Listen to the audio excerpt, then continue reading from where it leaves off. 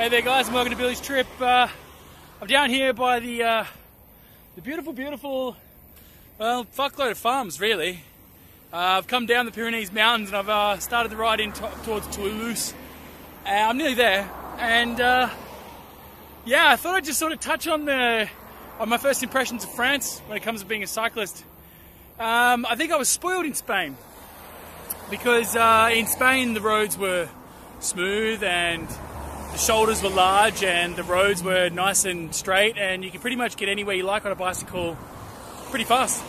Uh, but in France, well, you know, considering it's the sort of like the world capital of the bicycle with the Tour de France and all that sort of thing happening, which I believe is happening now, it's fucking shit. Uh, it is fucking shit. I'm honestly having probably one of the most boring roads uh, rides I've ever had. Uh, there's four million fucking trucks. There's never any shoulder on the road. It's bumpy, it's lumpy, it's shitty.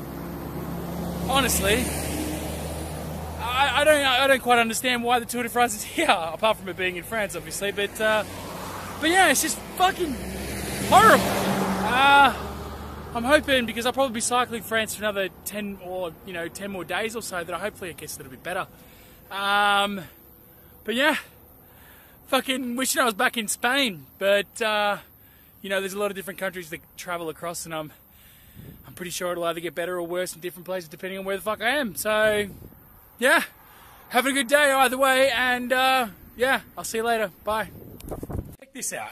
Even the roads are so fucking shit in fucking France that the disabled ramps have slight steps in them. Check it out. Look, I'm going to ride up it and watch how the video bumps.